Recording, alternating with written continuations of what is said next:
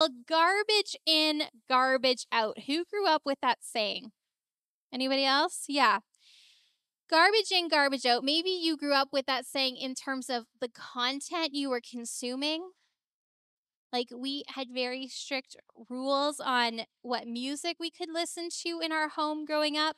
Or maybe now as a grown up, you use it to be like, garbage in, garbage out. I want a sweet treat, but I'm going to be disciplined and reach for fruit instead of ice cream. You know, it works. But we know all around nature, we see this to be true garbage in, garbage out. If we pollute things, then the what grows is going to be stunted or barren or just not growing at all. The saying rings true garbage in, garbage out. We're going to be digging into 1 Timothy 4 today. And my best way that I can describe 1 Timothy 4 is it feels a little bit like a load of sheets tossed into the dryer. Have you ever had to take a load of sheets out of the dryer? It's the most frustrating thing. Because if you put anything small in there, uh, like they're all tangled up anyway, but then you have like a wet sock, you know, that was like stuck in the pocket of that fitted sheet. Am I the only one who launders sheet? Thank you. Thanks, Lindsay. Yeah, you understand.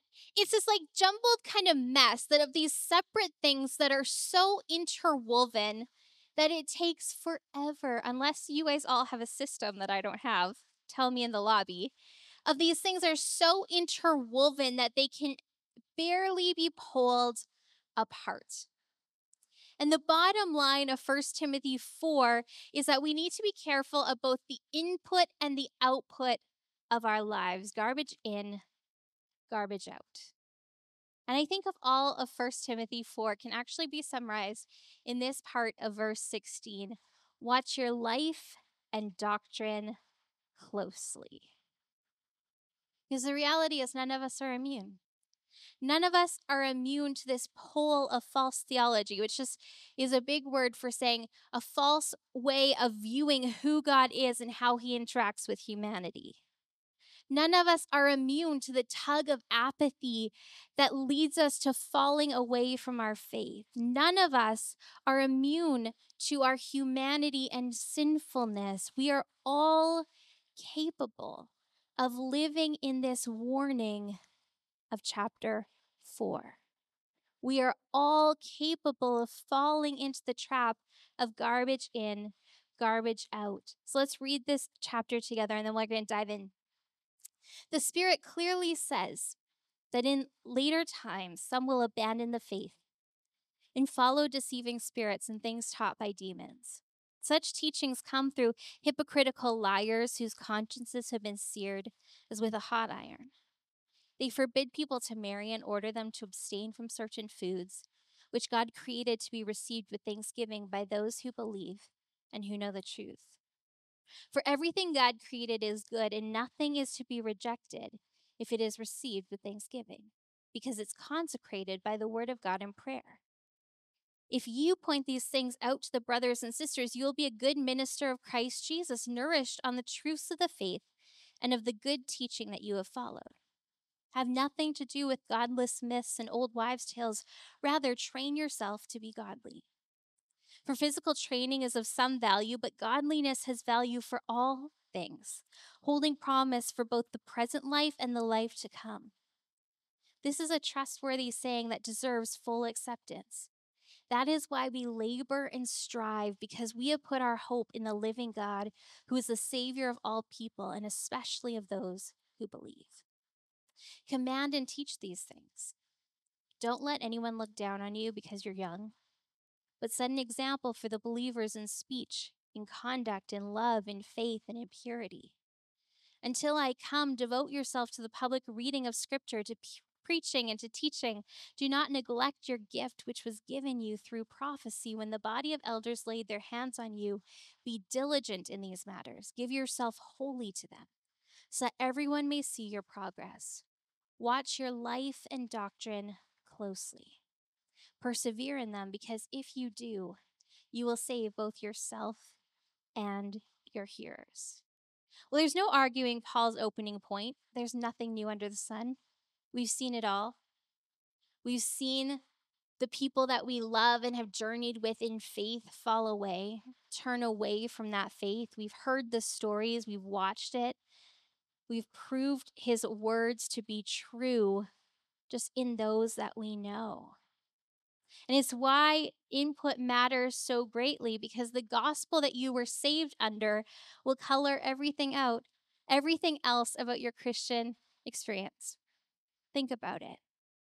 If you were saved under a gospel that said, if Jesus loves you, he will bless you, and those blessings are things that are tangible and quantifiable, then what happens when we walk through devastation? What is the opposite of that false truth? Well, if it seems like blessing is being stripped away from my life and God blesses those he loves, then he must not love me. If you are saved under a gospel that says you have to attain a certain level of holiness for God to hear your prayers, then what happens when we stumble and fall? When we have those moments where our sinfulness comes to the forefront and we trip up, what's the opposite of that false truth? Constant distance with God. Because we're never going to hit that level of perfection. The beliefs that we hold matter, the input matters. And Paul's warning Timothy watch for the sources of input in your church. And by extension, he warns us watch for the sources of input in your life and in our church. Where are we holding on to false beliefs about God and how he interacts with us? And where do they come from? Well, verse 1 tells us we have an enemy who's a master at deception. He's the father of lies. He's called that in John 8 44. We do have an enemy who loves to twist lies so that they look like truth. And we're warned that in doing so, he will lead many astray. We also have those in verse 2 who have rejected the discipline of God for so long that their consciences are actually seared. They have rejected the discipline of God for so long that they have believed their own lies and the eye, the lies of the enemy, and they no longer have the ears to hear and understand error. Their hearts are hardened, their consciences are seared. And then we have the input of just the foolishness of humanity in verse 7 of believing what feels right with no basis in the Word of God. And this is the one I find so interesting because we do it all the time. Like who has ever went to like swallow a piece of gum and stopped and then had to be like it's okay to actually swallow your gum? Anybody? Why do you do it? Because once upon a time someone told you an old wives' tale. And they said it would take seven years for your body to digest that gum, which is just bunk.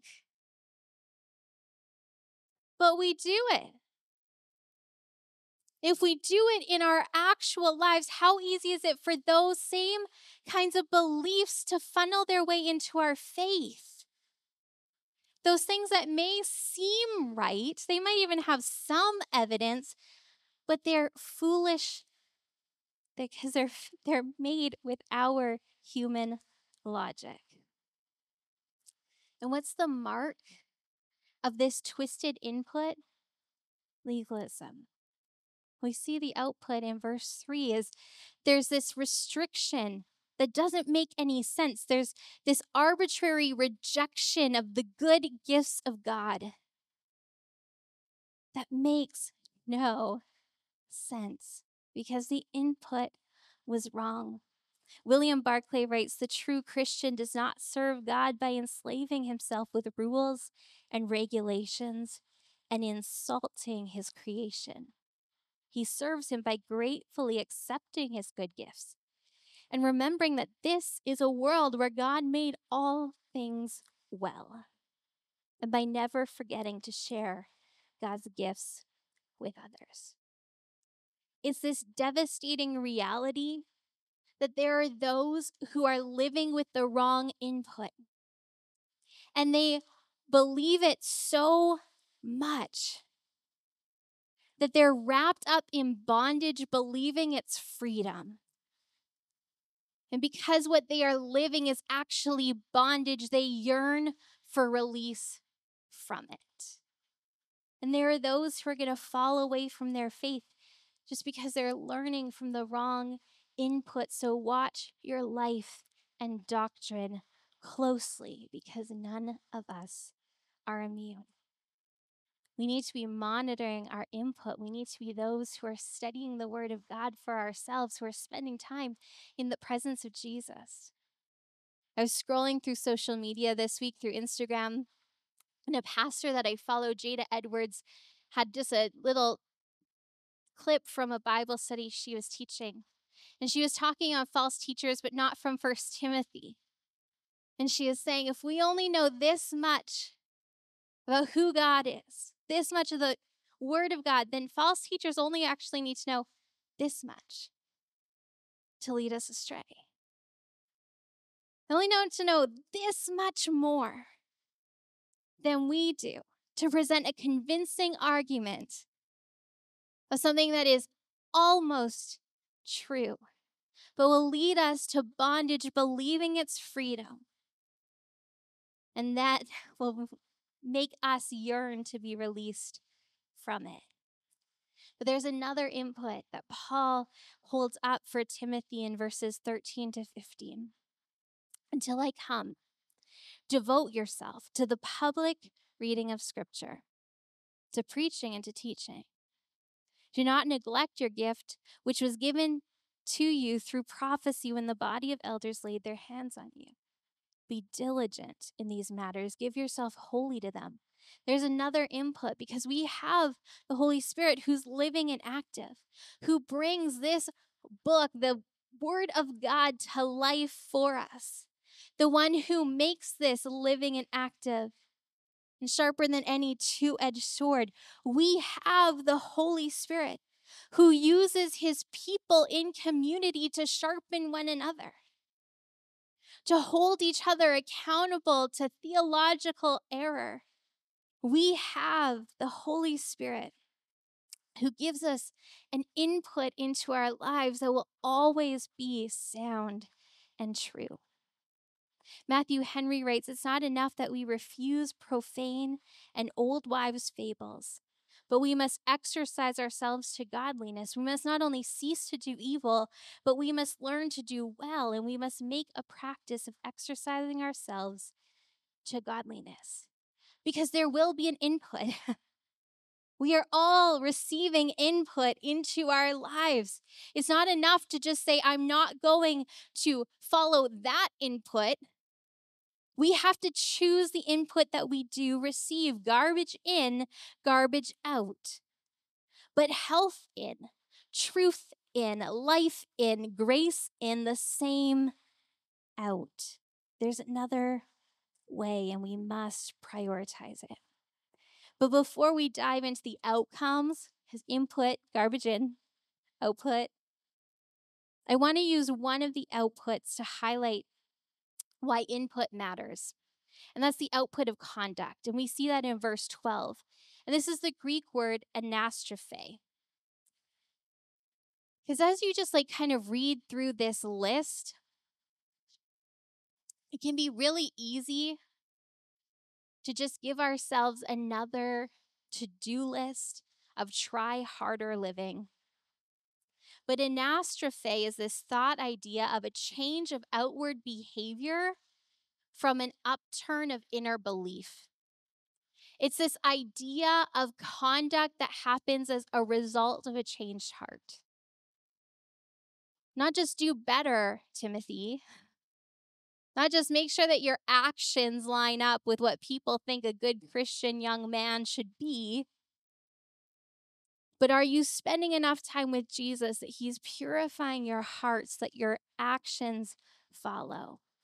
If we don't have the right input, our output will become legalism. even if we think that it's right. If we don't understand this moment, like this anastrophe, then we will live in bondage believing it's freedom when that is not what Jesus asked us to do. We will become whitewashed tombs. We will become cups clean on the outside, but still filthy on the inside. Does that sound familiar? Like Jesus' warning to some of those Pharisees who did everything right, but whose hearts were still far from Him? The input matters. Because the goal is not to live up to some checklist like Christian robots. We aren't. The goal is to have the output of our lives reflect the input, and in this case, to see Jesus on display in our words, actions, and attitudes. David Guzik writes The word godliness that we get in our Bibles comes from the Old English word God likeness. It means to have the character and attitude of God. And so Paul kind of gives this, Timothy this jumbled up sheets kind of moment in First Timothy where he has all these different places where there's this false teaching and this error. And then he has all of these places where his outcome is tied to either embracing or rejecting those things. And the thing that I found really interesting in this is that part of this list that Paul gives to Timothy, Timothy has absolutely no control over. He can't do it on his own. There's a surrender, a choice, and a progression that's part of Paul's encouragement to him and by extension to us. The first is surrender. As I said, there's this part of this list to Timothy that he can't create in himself. The very top of that list is love, and this isn't just any love, it's agape love or unconditional love. There's absolutely no way that Timothy on his own could love people with no strings attached. No way. I look at the people who I love most in the world, the people that without hesitation I would die for. And my love for them is flawed. There's no way that Timothy, in his own strength or in his own choosing, could get to that kind of love. It had to be through the Holy Spirit. Or this conduct, this anastrophe that comes from our beliefs falling in line with absolute truth. There is nothing that we can do in our own strength to change our thoughts we can take them captive. But we don't have the power to change them. Only the Holy Spirit at work in our minds and our lives can do it. It requires a deep work of the Holy Spirit. And so I find it so interesting that Paul gives Timothy this list of things that he should be doing. Hey, watch this in your life. Pay close attention to your life. You can't do it. Here you go. It requires surrender. It requires monitoring the input. And there's a stretching that comes when we need to allow God to work in our lives. There's a feeling of helplessness that comes when we have to surrender that I actually hate. I don't really like being helpless. I don't really like having to admit that I can't do something on my own. And there's an element of this that we are just going to have to get comfortable with. That we're going to have to confront and embrace being uncomfortable. We're going to have to confront and embrace a dying to our need for control. We're going to have to confront and embrace a dying to our desire for independence. We're going to have to confront and embrace a dying to timelines that fit us. There's a whole lot in surrender as lovely as we want to make it. I mean, it's so lovely to sing songs about surrender, and it feels like these beautiful moments. Surrender is war. It's not as easy. And so we choose. Timothy had to choose to walk in obedience. He had to choose to train in godliness. Listen to this in verse 10. That's why we labor and strive. Some translations are labor and struggle because we put our hope in the living God who's the Savior of all people and especially of those who believe. Yay. Right? That's great output. We get to labor and strive. And now I get back up for a moment because I've talked a lot. Because striving is one of those things that I fall into a lot. So let me back up to my own definition of striving, where we're working for God's love and approval. That is not what this striving is. The word for this striving in verse 10 is ag-. And it's kind of again kind of one of those thought definitions as greek usually is it's it's more of a thought than a singular word and it's one who would be contending for a prize where you're pressing on because there's something to be won at the end there's a goal in mind so you keep going you keep running even though the cramps have started and you're feeling winded and you're exhausted beyond belief and everything in you just wants to lie down and quit. You keep going. That's what Paul is saying. It's going to require choice to have the kind of output that a godly life demands. It's going to require us to do the hard work to keep going when things get difficult. It's going to require us to choose faith when we have doubt. It's going to require us to choose purity when we're tempted. It's going to require us to choose community over isolation, to choose serving others when we really just want to be served. To require choice. And finally, I thank God that He breathed this to Paul. It requires progression. Be diligent in these matters. Give yourself wholly to them so that everyone may see your progress. William Barclay writes, He must remember the duty of progress. His progress must be evident to all men. It's all too true of most of us that the same things conquer us year in and year out. That is, year succeeds year, we're no further on. The Christian leader pleads with others to become more like Christ. How can he do so with honesty unless he himself, from day to day, becomes more like the Master, whose he is and whom he seeks to serve? It's both freeing and sobering. It's freeing because we'll never arrive. We're works in progress. There's grace for us. We can continue to run the good race. Even when we stumble, we can get back up, receive forgiveness, and continue on. And it's sobering because staying the same is not an option. Staying stagnant in our faith is not an option. There is a very intentional process, a very prayerful process, one of community when we put the words together for our mission statement. We want to be a safe place for everyone. Going on to the end. Look more and more like Jesus each day. It wasn't a pithy thought. It wasn't a, hey, this kind of sounds good. It's the gospel.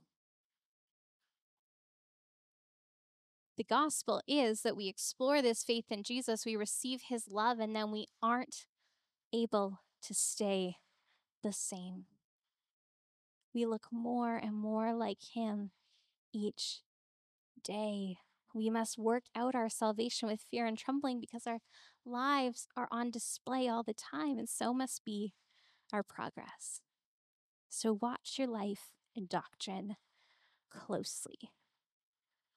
Persevere in them, because if you do, you will save both yourself and your hearers. This is my second Sunday back, and many of you have asked how my sabbatical was. And if I'm really honest, the best word is it was painful. It was really painful.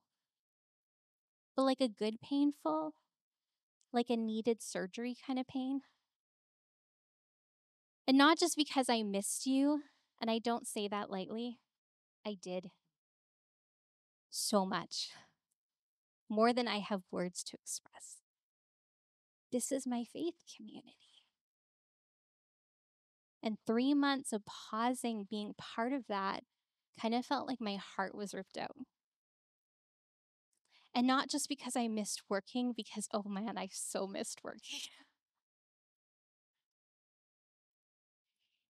is because God, in his gentleness, knew that there are some things that we had to confront in my life that were going to take significant amounts of time. Watch your life and doctrine closely.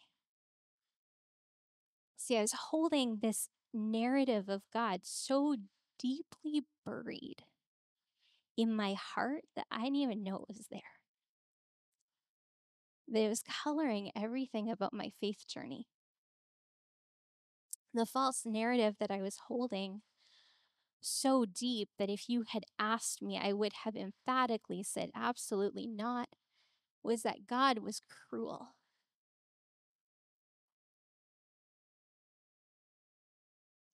And what that meant for my faith journey was that while I desired more than anything to have this intimacy with God, I would get to a certain point with Him and then go, that's close enough. And every time I'd feel that resistance, I would beat myself up. Like, what is wrong with you?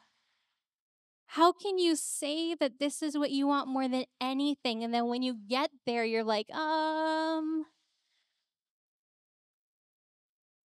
It's because in my heart of hearts, I really didn't trust him. I didn't feel safe. And in this process of exploring this,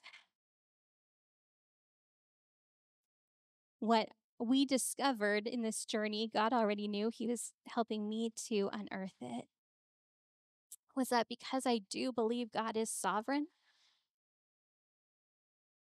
that in all of the places where I was deeply wounded, I held Him accountable.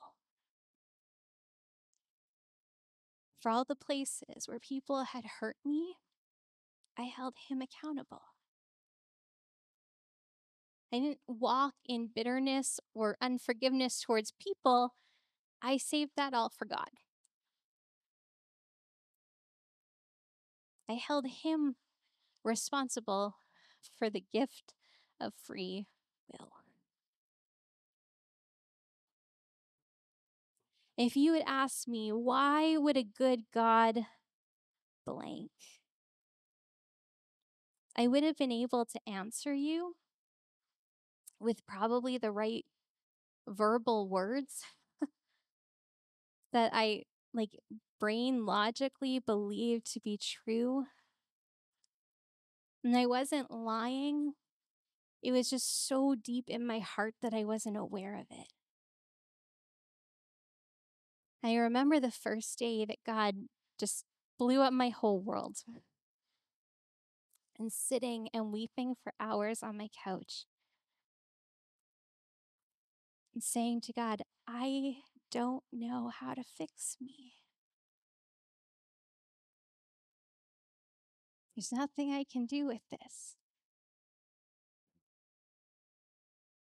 Only you can do it. And I feel this same heart to Timothy from Paul. Timothy, there's so much that is vying for you to listen to it. From the evil of demonic influences to the foolishness of human ones. And if you're not true, or if you're not careful, you're going to pick up these false things. And they're going to take root so deep in your heart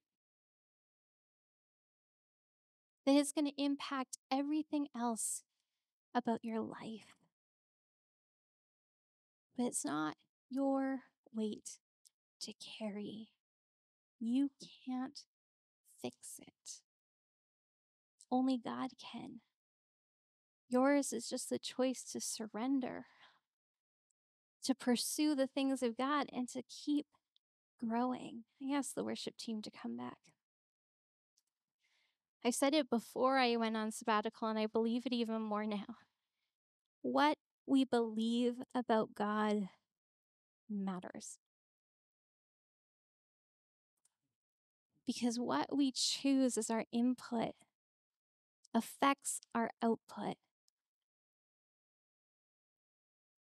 One of the lines that I heard at church I was going to online from one of my favorite teachers, Megan Marshman, was be willing to sit as long as it takes with Jesus to do what he needs to do in your life. If there are places where we've had the wrong input, that's not going to be a quick fix. If there are lies that we've held as truth, tearing up those weeds in the soil of our heart is going to be tedious and painful and timely. And we have a tendency to want to rush through to get the Coles Note version, but there's no rushing the deep work of the Spirit of God. And we have to be comfortable with the discomfort. We need to embrace the pain.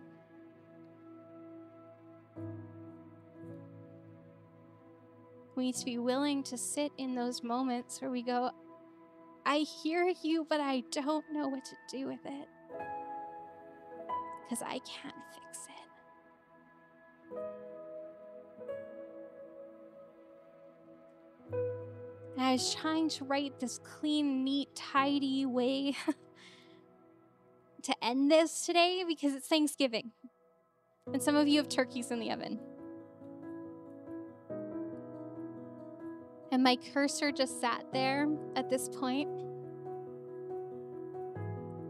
And then last night, because I still am not sleeping super great, at two o'clock in the morning, having a conversation with God about, please let me sleep. That's all it was about. Please let me sleep. And he said, Lisa, there's never going to be a perfect time to respond and to wait. Because there's always going to be something we're supposed to rush off to. There's always going to be something in the metaphorical oven demanding our attention. There's always going to be something, kids that are antsy or to do lists or important things that we need to do, and there's never going to be a perfect time, but there is a surrendered one where we choose, where we say, I know I know that this is going to be the start of unearthing something that's painful and it's not going to be fast and it's probably not going to be fixed today. But I'm in agreement with you. If you trust this is for my good, then let's begin.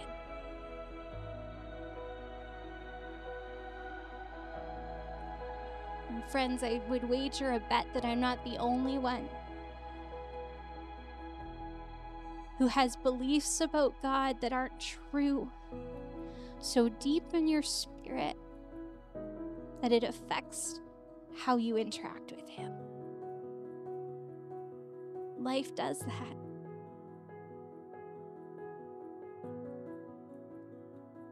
And so I want to invite us that there will never be a perfect time, but right here, right now, this can be a surrendered one. And this can be the beginning of something that is painful, but for our good. Because He is good.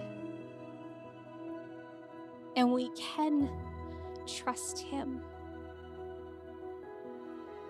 And yes, He's sovereign. He's also gentle.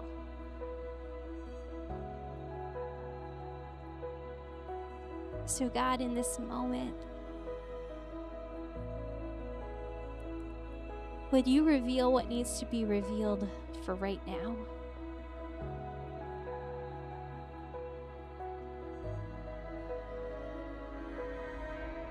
Too kind to us to throw all of our faults in our face at once.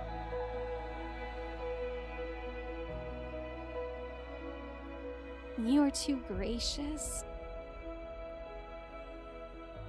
to turn our whole world upside down at the same time. But you know what you want to confront right now. You know what we've been holding on to and listening to, believing it to be truth that was error and lie and falsehood.